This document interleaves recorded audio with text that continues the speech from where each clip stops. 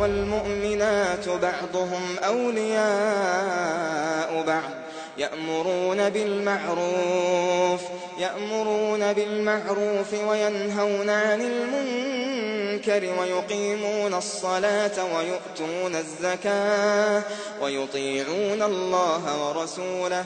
أولئك ওয়ালাইকুম সালাম রহমতুল্লাহ ওবরাকাত বশির পাটোয়ারি সৌদি আরব থেকে তিনি জানতে চেয়েছেন দাওয়াতি কাজের সঠিক ফর্মুলা কি? পদ্ধতি কি? কি পদ্ধতিতে দাওয়াত দিতে হবে? এবং তিনি উল্লেখ করলেন, আমাদের দেশে বাহাস এবং অনেক সময় বাহাস হয়। বাহাসে ঝগড়ার ঝাঁটি এবং অশ্লীল কথাবার্তা বা গালিগালাজ হয়ে থাকে। এ প্রসঙ্গে রসুল সাল্লাহ আলিয়াল্লামের সঠিক পদ্ধতি দাওয়াতি ক্ষেত্রে। দাওয়াতি কাজের সঠিক ফর্মুলা দুইটা। সঠিক ফর্মুলা কি? দুইটা। একটা হচ্ছে বিল হেকমা ওয়াল মাউঈদাতিল হাসানা হেকমত এবং মাউঈদাতিল হাসানা উত্তম উপদেশ এই দুইটা।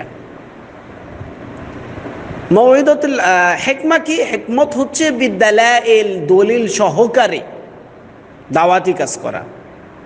আপনি যে কথাটাই বলবেন না কেন, হেকমতের সাথে বলবেন মানে হেকমতের তাফসির হচ্ছে দলিল সহকারে বলবেন।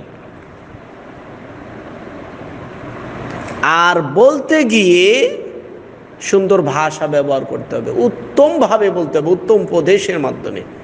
আপনি আল্লাহ পাক রব্বুল আলমিনের কোরআন থেকে দলিল দিলেন, আল্লাহ রসুলের হাদিস থেকে দলিল দিলেন, দলিল দেওয়ার পরে সুন্দর করে বুঝালেন সুন্দর করে উপদেশ দিলেন, উপদেশের মাধ্যমে বুঝালেন, মানলে ভালো, না মানলে আপনার কোনো ক্ষতি নেই।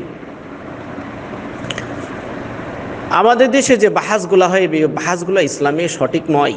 এরকম বাহাস মুসল মুসলমানদের সাথে, মুসলিম মুসলিমের সাথে বাহাস করা সঠিক নয়।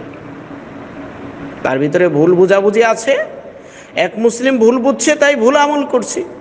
তাকে কোরআন এবং সহি হাদিসের আলোকে উপদেশ দিন মানলে মানলো, না মানলে আপনার দায়িত্ব আপনি পালন করছেন। আপনার উপর জবরদস্তি করার কোনো ক্ষমতা নেই যে জবরদস্তি করে আপনাকে, আপনি তাকে অবশ্যই তার ভুলটা সংশোধন করাবেন। না, তার ভুল সংশোধন করানোর জন্য আপনি তাকে উপদেশ দিবেন, তাকে বুঝাবেন, একবার নয়, দুইবার নয়, তিনবার, বারবার বুঝালেন, না বুঝলে, না বোঝার পরেও যদি সে ওটা আমল করে এটা জন্য সে ভুল আমলের শাস্তি আল্লাহর কাছে পাবে, সে এটার জন্য কোনো স্বভাব পাবে না।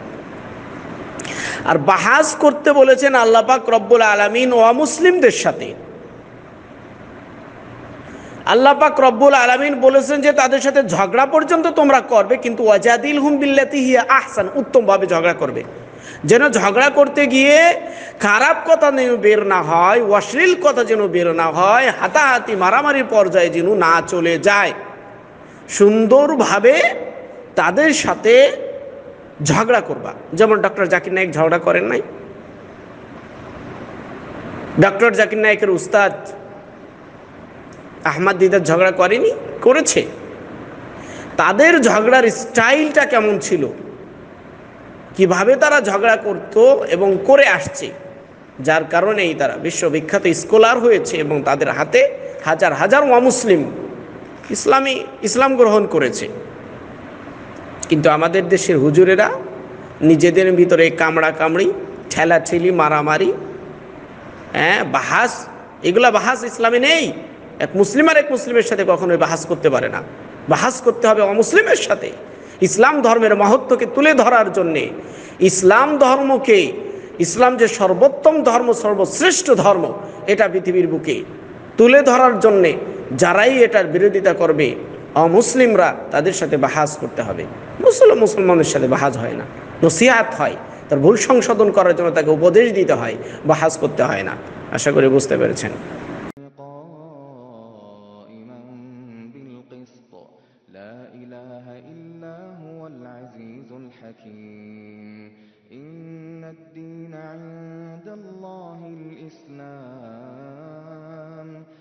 اختلف الذين أوتوا الكتاب إلا من بعد ما جاءهم إلا من بعد ما جاءهم العلم بغيا